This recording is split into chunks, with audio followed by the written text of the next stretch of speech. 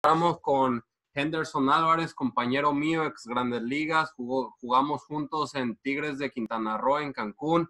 Y bueno, eh, le quiero presentar aquí a Brent Porcio, es el CEO, el que desarrolló eh, todo lo que es Top Velocity. Y bueno, yo solamente estoy traduciendo todo este contenido, la ciencia, la biomecánica, eh, al español. Y, bueno, hoy tenemos como invitado especial aquí a mi pana desde Venezuela, Henderson Álvarez. Saludos, saludos. No, verdad que saludándolo por ese bonito programa que están haciendo, excelente trabajo. De verdad que cada vez que está en un live, está explicando cualquier cosa, eso genera uno también, que uno también piensa en cosas que uno está haciendo mal y uno agarra como quien dice ese tip y lo lleva a parte de su trabajo. De verdad que no. excelente trabajo. So he's saying like congratulating us because like every time we do a video, post a video, do a live, like even though uh, he's a player, he watched th those videos and then he's thinking about all the things uh, we throwing and then that help him too. Cool. cool. So anything awesome. you want to add to that? No, thank you very much. I think uh, Robert's been working really hard to get this into Espanol, Spanish. Yeah and uh, he's doing a really good job of it. And I'm, I'm trying to learn more Spanish. I'm not doing good, but uh, I'm, we're excited. I think there's a lot we can help in Latin America. I'd like to hear your opinions on what you think we could do better to really grow this into Latin America. So, básicamente que muchas gracias, que estamos haciendo un trabajo muy fuerte por traducir todo este contenido, que tú sabes que es un contenido científico, es un contenido muy importante a toda la comunidad latina que a lo mejor no tiene eh, las herramientas o no tiene este tipo de conocimientos, ¿no? Entonces, él te está preguntando qué tú piensas que nosotros pudiésemos hacer mejor para ayudar a, a, todos los latinos, ¿no?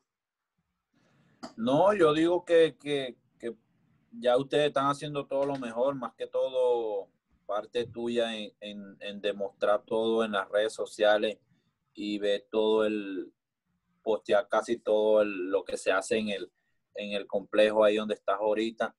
De verdad que eso nos va a ayudar más que todo a todos los latinos porque tú sabes que uno del latino lo que hace es montarse en el montículo y, y tirar su pelota para allá. Ellos no piensan en, en mecánica, ellos no piensan en si están corriendo. Más que todo uno, uno cuando se monta, porque uno sabe, uno tiene el brazo saludable y uno nada, no importa mecánica ni nada, más que todo. Y, y ese es un ejemplo. De verdad que ese, este trabajo va a ayudar a muchos, muchos latinos en todo Latinoamérica. ¿Verdad que y, y, más que nada yo siento, o sea, haciendo este tipo eh, de educación tanto a los jugadores, tanto a los papás, tanto a los jóvenes, tanto a los coaches, pon tú en tu caso, ¿no? Que tú eres un, un pelotero, un pitcher que ya está en los más altos niveles, pero al tú educarte con esta ciencia, cómo funciona la biomecánica, ya tú tienes un mejor entendido y en vez de Henderson Álvarez, este, no sé, tener un potencial de un 70%, puedes llegar a tu 100% y mantenerte durante más tiempo en tu carrera. Entonces, no solamente es mejorar, este, saber que puedes mejorar todavía, aunque ya estás en el más alto nivel, sino de una manera saludable y eficiente, lo cual te va a hacer durar eh, por más años, ¿no? So I'm telling Henderson Alvarez because he's really glad about all this project and he's helping saying that we are really helping and i'm telling the objective of this is like when he educates a player because right now he's in a point that he's in the best level so he only focusing on throwing strikes getting out. But when he learned the science the biomechanics now his game can elevate and change. Instead of pitching five years he can pitch 10 more years yeah, you know? yeah. So you, anything you want to add about that? I think that's important. I think the challenge for players as they age or or get out of their prime, they really have to start focusing on their bodies more. I think a lot of them, when they come up in the game, they don't have to focus on their bodies as much because they're youthful and their bodies is producing. But there gets that point, you know, where it turns. And if you're not really prepared to do everything you can to take care of your body, your career is just going to tank. Sí, dice muy importante que entre tus 20 a tus 30 años, a lo mejor no necesitas prepararte tanto, tu puro talento te puede llevar a hacer cosas grandes, cosas importantes, pero ya cuando llegas a tus 30, ya eh, fisiológicamente empiezas a bajar, empiezas a perder movilidad, fuerza, etcétera, etcétera. Entonces, si tú no haces este tipo de, cosas extra como un programa de movilidad, un programa específico de fuerza, un programa de nutrición, de recuperación, tu carrera se puede ir en empinada y es, yo creo, lo que a lo mejor muchos peloteros latinos todavía no, no han aprendido porque no hay este tipo de conocimientos, este tipo de ciencia a sus alcances. Entonces nosotros estamos tratando de hacerles llegar todo esto para que ellos lo puedan aplicar en su persona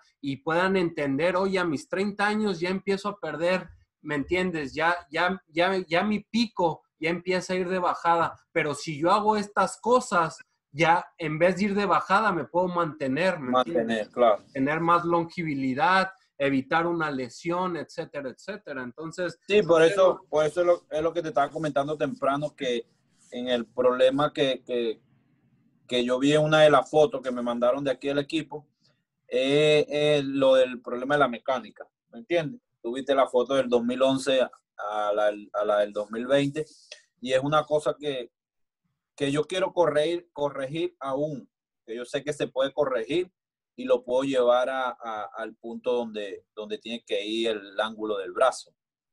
So, le estoy enseñando aquí tus fotos.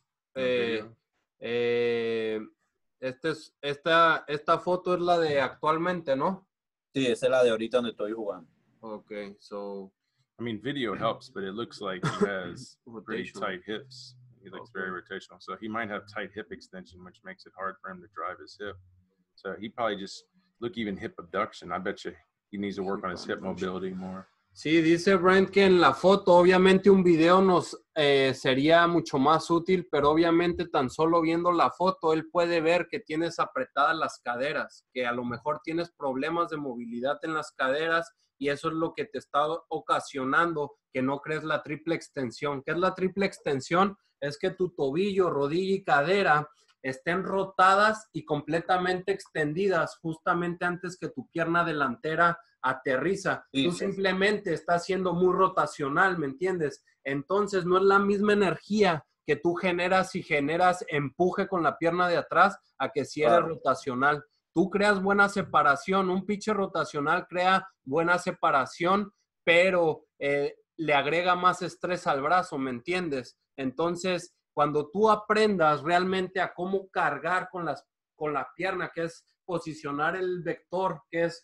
tobillo, rodilla, por en línea, por abajo de la cadera delantera, ¿cómo vas a hacer eso? Atacando hacia abajo y hacia adelante al mismo tiempo, manteniendo abducción en la rodilla sin que se colapse, sentándote en tus caderas y de esa manera, ¡pum!, crear la triple extensión, pero de una manera lineal. Entonces, tú dices, tú dices por lo menos cargando, bajando y down and forward. Yeah, down and forward.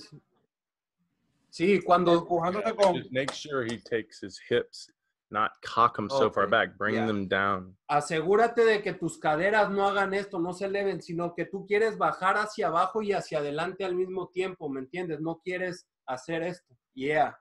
Y mejor. Yeah, it's, it's about getting this. It's about getting this leg to to abduct and hold torsion like this. You don't want to be like that. You want this leg to, as you move down, yeah. to load up like this, so you're strong and stable to drive out of that position. Boom.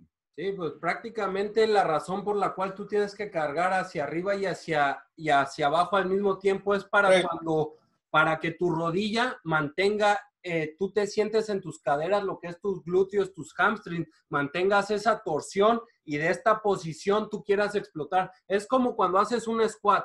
Cuando tú estás haciendo un squat, ¿qué hacen tus rodillas? Van hacia afuera, ¿me entiendes? ¿Para qué? Para mantener tu peso. ¿Qué pasa si tú tienes mucho peso y metes las rodillas? ¿Qué vas a pasar? Pierdes la fuerza. Es lo mismo que los pitchers no entienden. Cuando ellos colapsan la rodilla, ya no hay fuerza de empuje con la pierna trasera. Por eso es importante saber cómo cargar posicionar el vector en línea para cuando te empujes, crees esa fuerza lineal, porque si el vector está muy vertical, cuando empujes, ¿qué vas a hacer? Va a ser hacia arriba, ¿me entiendes? Nosotros somos pitchers, queremos la energía hacia home plate. Entonces, para ti va a ser muy importante llegar a esas posiciones y cargar correctamente, pero este, aquí es a lo que vamos. ¿Por qué es importante el programa de movilidad? Porque hasta que tú no resuelvas tus problemas de tus caderas, tú, tú físicamente va a ser imposible que llegues a esa posición. Por eso tienes que tener un programa específico. Por eso cuando llegan al campamento se les hace una evaluación para nosotros saber quiénes quiénes, dónde están como atletas. Esas de cuenta como si me traes un carro al mecánico y me dices, oye, este, aquí está el carro, sí, pero yo tengo que abrir el cofre para ver el motor, para ver qué problemas tiene, si las suspensiones están bien, si el motor funciona.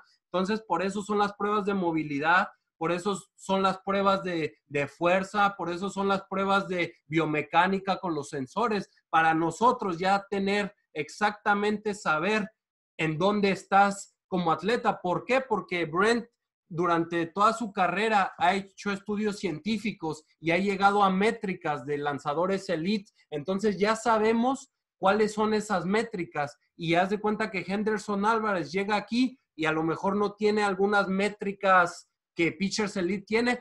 Trabajamos y nos enfocamos en esas métricas y de repente ya tú tienes la movilidad para llegar a esas posiciones, ya tú tienes la fuerza para para explotar, ¿me entiendes? O sea, aquí lo que quiero que entiendan la gente es que no nada más es enfocarse en la biomecánica. Para tú tener una biomecánica elite, tú tienes que ser un atleta, tú tienes que tener movilidad, tú tienes que tener fuerza, tú tienes que tener rapidez. Entonces, hasta que tú no corrijas esas cosas, tu cuerpo fisiológicamente no va a poder moverse o llegar a las posiciones de un pitcher elite. Sí, no, no, y por eso es que uno trata de corregir eso a tiempo porque uno piensa que uno le, deberían de quedar máximo seis años, siete años en la pelota, algo así, ponle un decir.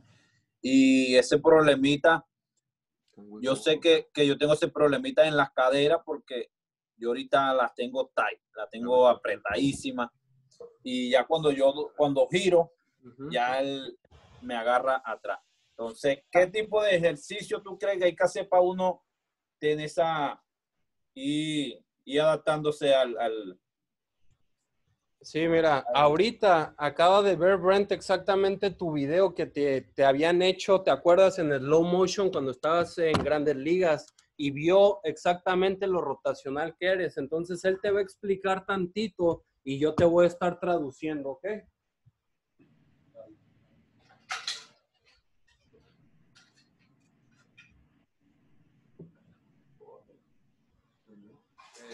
Him about the video, what, why he's so rotational. Okay. Well, what's his size? Eh, ¿cuál, cuál, ¿Cuál es tu estatura? Más o menos la misma que yo, ¿no? Seis pies. Seis. Seis, six one, right? Six one. Sí, sí. Ah, ¿Y cuánto pesas? ¿Cuántas libras? Ahorita estoy como en 230, 235.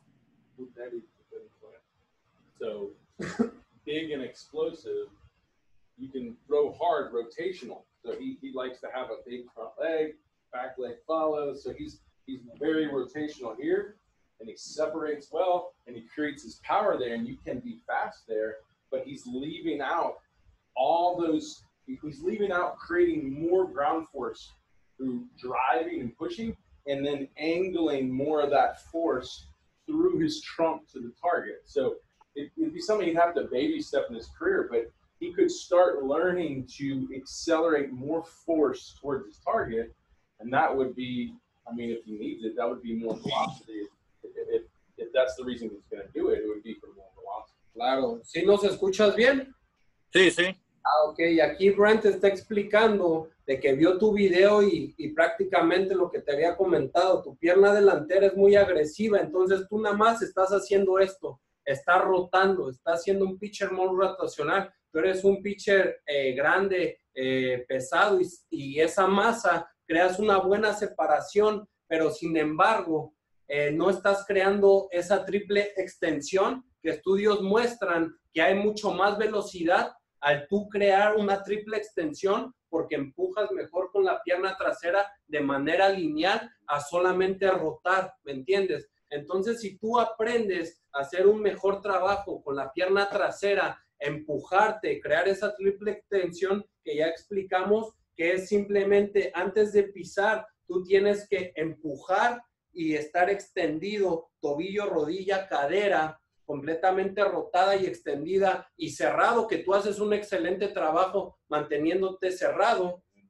Y, y, eso es lo que va a causar que cuando la pierna delantera se extienda, tu tronco salga de manera lineal hacia home plate. Tú ves los pitchers elite, cómo su tronco hace esto. ¡Fua! ¿Me entiendes? Cómo el tronco se avienta. Entonces, estudios muestran la correlación de qué tan lineal usas el, el tronco va a afectar a la velocidad del brazo. Tú ahorita estás siendo prácticamente muy aquí, muy rotacional. Nosotros que queremos enseñarte a que te empujes de manera lineal, crees esa separación y después tu tronco, ¿ve la diferencia?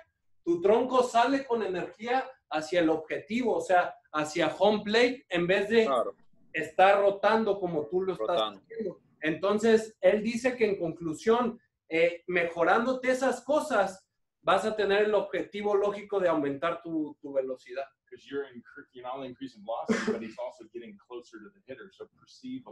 Entonces no solamente vas a aumentar velocidad, sino que también eh, a ojo del, del, del, bateador tú vas a estar más cerca, entonces lo cual el bateador va a ser mucho más difícil porque si tú eres rotacional, ve, ve la distancia. Ahora si mi tronco es lineal, ve el release point. Entonces, distancia es más corta, tu velocidad va a aumentar, entonces va a ser todavía mucho más difícil darle a tu recta. No, no. It just takes, that takes time. I mean, someone who's very rotational, when you teach them to, to load longer and build a longer stride and generate more linear force, and then the trunk starts going forward, everything starts changing. The, the, their, the body starts you know, there's a lot forces are being put on the body different. The ball's coming out different. The, the hitter's reacting different. So it's a dramatic change to go from a straight rotator to ro- being rotation and linear. So it's oh. something you have to kind of slowly build into an older career. Sí, no, Brian dice que va a ser un cambio dramático en convertirte en un pitcher lineal a, a lo que eres ahorita, un pitcher rotacional, porque obviamente vas a cargar mejor, tu zancada se va a ampliar, lo cual estudios muestran que entre más larga la zancada, más velocidad hay. Entonces, como tú eres rotacional, tu zancada todavía es corta. Cuando cargues bien, te empujes, crees la triple extensión, vas a aumentar la zancada. Sí, la pierna va a aumentar más. Vas a aumentar la separación y lo más importante que tu tronco va a hacer esto, se va a aventar de manera lineal. Tú ahorita simplemente estás aquí rotando totalmente, entonces estás perdiendo energía, que esa energía debería ir hacia el home plate, ¿me entiendes? Entonces él dice que obviamente, este, pues tú ya has pichado así toda tu carrera, entonces tú ya tienes esos hábitos y sí va a llevar un off-season, un poco de tiempo hacer esos ajustes, pero una vez que los hagas, va a ser un cambio total en tu carrera, porque no solamente vas a tirar más duro, vas a tirar más saludable, le vas a quitar más estrés al brazo, porque cuando eres rotacional, le, le pones demasiado estrés al brazo. Mira todo el estrés que le estoy poniendo al brazo. Sí, claro, claro. Cuando eres lineal, yo utilizo el tronco, ¿me entiendes? Para tirar la bola, no el brazo. Entonces, eh, pero una vez que logres hacer esos ajustes, la percepción de la bola al bateador, puta, imagínate si yo suelto la bola aquí como ahorita tú estás, a soltarla aquí adelante, toda esta distancia con más velocidad, pues es como si les tirara 5 o 7 millas más.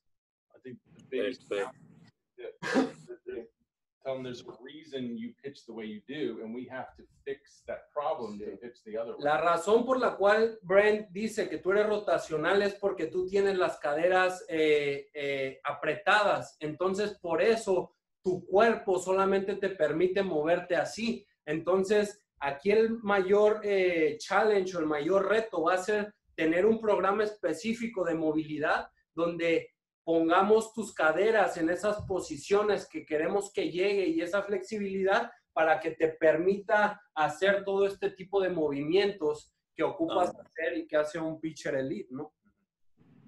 ¿Qué otra pregunta tienes? No, no, eso es, no, eso está interesante, sí, porque el problema, el problema mío es cuando, cuando yo estoy pichando y yo mismo me doy cuenta, tú sabes, la, entre la adrenalina y, la cuestión es el, la, la mecánica. Yo cuando yo, yo subo mi pie, ya mi pie ya se está, me estoy yendo demasiado hacia adelante, ¿me entiendes? No he subido el pie ya cuando ya estoy echando el cuerpo hacia adelante. No estoy, como te digo, cargando lo suficiente para, aparte de las caderas, que la tengo apretada. Yo, yo he tratado de hacer varios ejercicios, como tú lo has platicado en, la, en, en las redes, con el balón, que uno trata de, de, de mover un poquito y me da calambre aquí Claro, porque no tienes la movilidad que, que, requieres para llegar a esas posiciones, ¿me entiendes? Entonces, hasta que es, eso es muy clave. He's telling about like he been trying to do the metal throw, but he feel tension here, and I'm explaining him because he doesn't have the mobility. So ahí en esos ejercicios del balón son tan sagrados que te, tu cuerpo te dice si lo puedes hacer bien o no, porque tú lo tienes que hacer perfecto para hacer esos movimientos. Entonces, como hablamos de que tus caderas son apretadas, por eso sientes calambres, porque tú no tienes todavía esa movilidad. Pero cuando tú tengas esa movilidad, tú vas a poder hacer, llegar a estas, posiciones que pitchers elite hacen y maximizar la separación de la cadera y el hombro, que los estudios muestran que 80% de la velocidad vienen de esa separación. Entonces tú mismo estás dándonos tu respuesta por tu falta de tu movilidad es que está siendo rotacional y no puedes maximizar esa separación. Eh, he was also saying that he been challenging because every time he lifts his leg, he thinks he's already going like he, he doesn't like. Yeah, which means his hips are probably getting weak.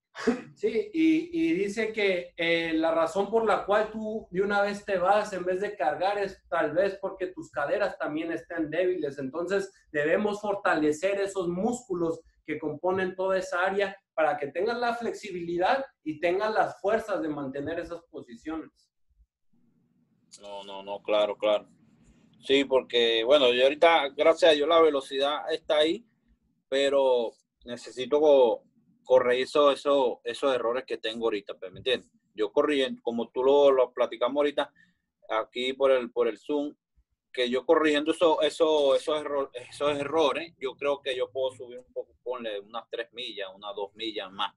Porque yo ahorita estoy lanzando 96, 95, 97 a veces.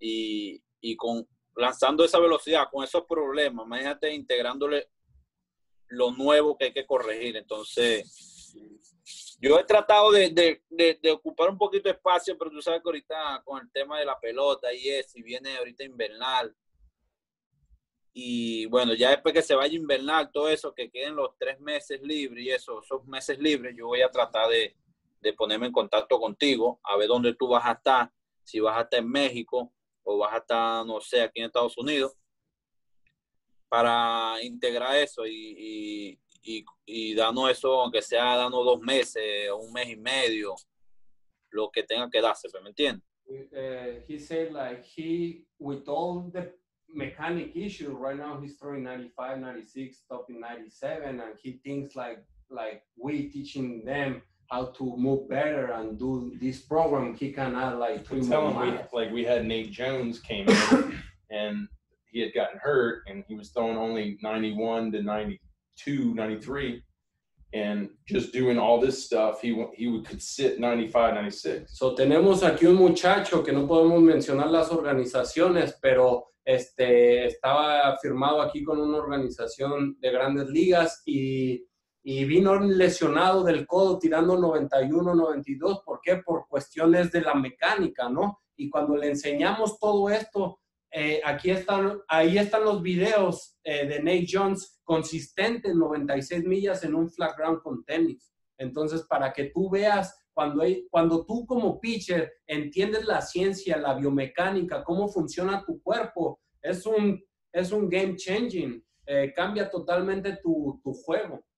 No, no, y, y por eso es que me, me, interesa, por eso es que cada vez yo sigo los videos que tú montas, porque uno, a mí me gusta, sabes que a mí me gusta trabajar, a mí me gusta, este, si integrar más, más, más cosas, como que más cosas buenas para, para mi cuerpo y, y yo me enfocaba en varias cositas, tratar de hacerlas, pero sabes que no es lo mismo estando allá que uno haciéndola aquí.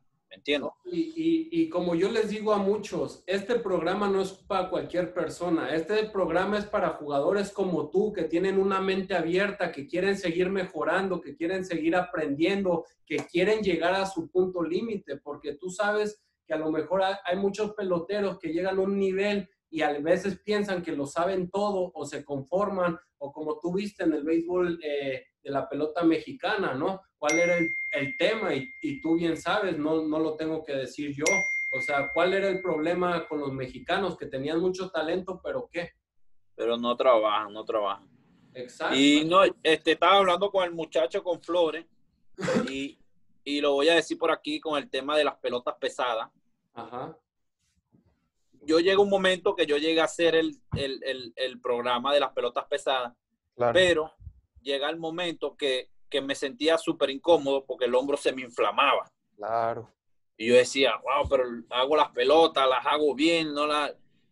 Y cuando iba a lanzar una pelota sentí una vaina atrás y, yo, y dejé de hacerla. No más nunca hice esa cosa porque yo sé que eso, eso era lo que me estaba causando la inflamación de las pelotas pesadas porque eso no es, eso lo de las pelotas pesadas, eso es mentira que no te va, eso no te va a dar rapidez en el brazo.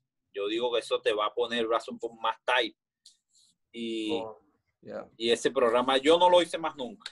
De no, que más mira, nunca no. este, pues de hecho hicimos el video pasado, fue enfocado a las pelotas pesadas, creo, no sé si lo viste, el video que sacamos de Ah. las pelotas pesadas. He's saying that he program of the weighted balls, but he say I immediately stop that because I I start feeling uh, uh, I start feeling like issues and pain in my arm and I feel tightness. So if you can talk a little well, because about that. because a very uh, he's a very rotational pitcher, and rotational pitchers their challenge is to keep their arm up with their trunk because when you pull and you want to rotate, your arm wants to drag Yeah. and that's where most of the injuries start to happen is when the more you drag the more stress here the more stress here.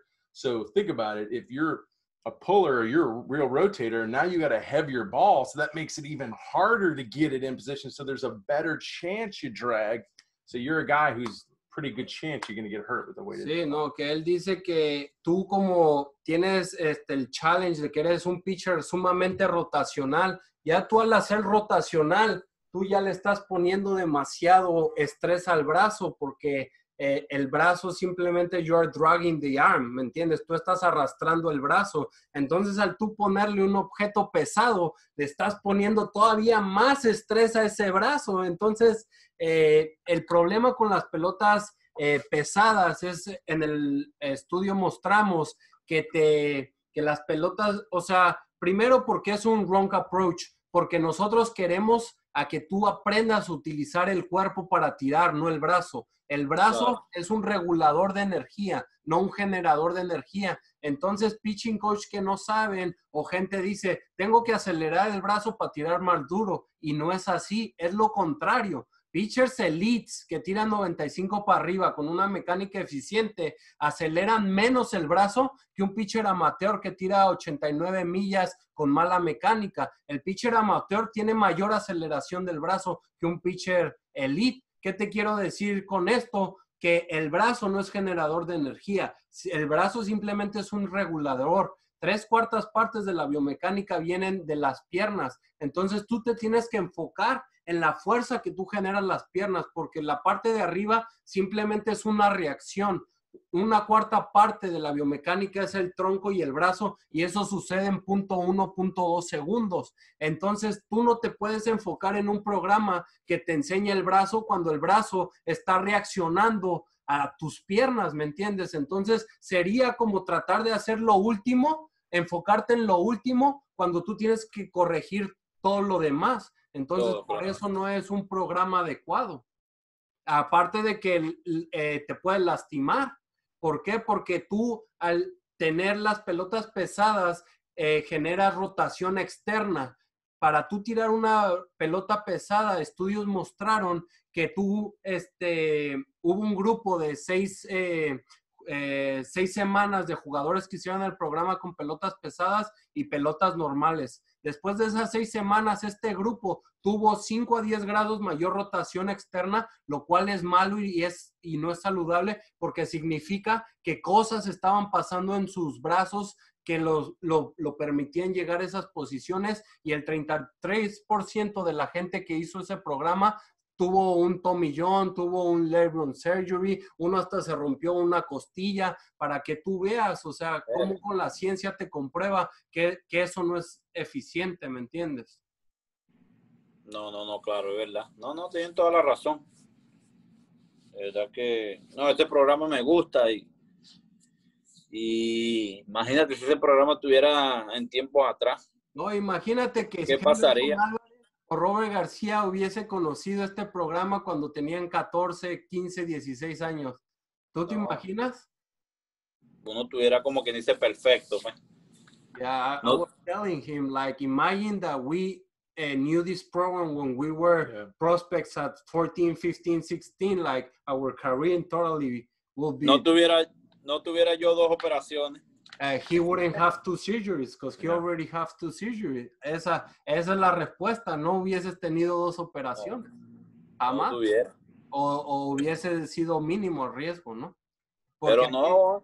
Yo estaba ayer, ayer estuve hablando con un compañero en Colombia que tiene una academia y los carajitos llamamos, hablamos por Zoom y la cosa. Querían que le dieran un consejo, unas cosas, tú sabes. Y lo primero que yo le dije, mira, yo le puedo dar mi punto de vista, le puedo dar mi consejo, pero váyanse y sigan esta página que es la que está dando lo mejor ahorita aquí en Estados Unidos. Todo Velocity Latinoamérica, esa página está dando todos los tips que tiene que tener un lanzador hoy en día 2020. Y porque se lo está entrenando un muchacho que nosotros firmamos con Toronto juntos y tiene como 15, de, 10 a 15 peloteros puros lanzadores. Y lo primero que le dije, no, váyanse a seguir esa página que ahí van a correr todo. Y, de verdad que, no, esa página, ustedes, se, como que dice, se la están comiendo con eso. se la están comiendo. Y, y, te digo, mi objetivo personal, porque muchos me dicen, Robert, pero tú tienes 28 años, estás en tu cumbre de tu carrera, esto y el otro. Pero yo creo que ahorita encontré un objetivo más bonito, que es ayudar a esos jóvenes que se encuentran en mi posición donde yo estaba, que tenía 15, 16, y pienso, ¿qué hubiese sido de Robert García cuando era prospecto, cuando tenía todas estas organizaciones detrás mías, que, que alguien me hubiese enseñado toda esta ciencia, todo este programa, ¿me entiendes? Mi carrera hubiera sido totalmente diferente. Entonces, yo estoy específicamente enfocado a esos niños, ¿no? De, de darles estas herramientas para que su desarrollo sea correcto, ¿no? Porque ¿qué, es lo que pasa? Muchas veces cuando hacen un programa incorrecto como el de las pelotas pesadas, etcétera, etcétera, pasan dos cosas, o no desarrollan y en el peor de los casos los lastiman. Sí, sí. No, y eso es lo que está pasando hoy en día en Grandes Ligas. En Grandes Ligas están utilizando puros lanzadores que, que no tienen la mente para pichar y lo que hacen es tirar pelotas nuevas, porque yo tiro duro 100 millas, voy para allá a tirar 100 millas y están así a lo loco tirando sus 100 millas, pero no, no tienen la mente que la mente que deberían de tener, como quien dice, estoy en Grande Liga, un nivel que ya todo el mundo sabe lo que tiene que hacer, un nivel que hay que, hay que guapiar, un nivel que hay que aprender mucho, porque tú vas con una experiencia que te sube en primer año y vas a llegar a tirar 200 millas, no estás haciendo nada. ¿Me entiendes? Y, precisamente eso que hablas es muy importante porque la gente a veces se confunde porque ve un pitcher en el alto nivel eh, tirando 100 millas y lo tratan de imitar, pero no saben realmente si esa es una mecánica efectiva. Oh, ¿qué pasó? Eh, hold on. Claro, claro. No saben si es una mecánica efectiva o no. Entonces ahí ves a los carajitos tratándolo de imitar y a lo mejor están imitando una mala mecánica y es cuando se, se empiezan a lastimar. Por eso yo creo que tirar toda esta ciencia, la biomecánica, educar a los niños, a los coaches, a los jugadores de los movimientos correctos que se tienen que imitar o se tienen que hacer, yo creo que eso va, va a cambiar el juego y va a salvar muchas carreras. Sí, más que todo es un porcentaje eh, eh, oriental más que todo a los coaches, porque ellos son los que van a llevar ese trabajo a, a los niños. Y, y, bueno, ya queda parte uno en uno aprender y uno captar todo lo que te están diciendo. ¿Me entiendes? Si ya no captas todo lo que te están diciendo, que va a ser un bien para ti, ya bueno, ya es otra cosa que no es parte del entrenador, sino parte del pelotero.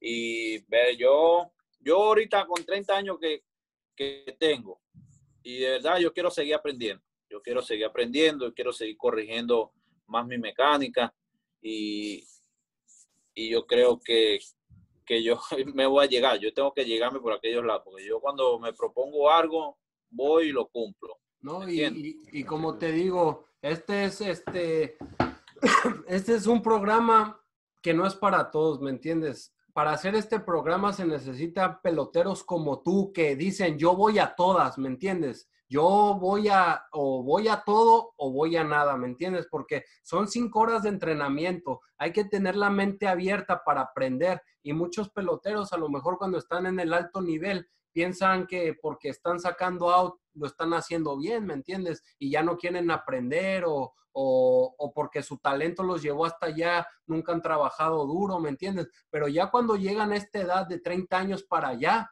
ya se dan cuenta de que tienen que encontrar todas las cosas para poder mantenerse en ese nivel, si no, ¡pum!, de repente van, van a empezar a ir de bajada.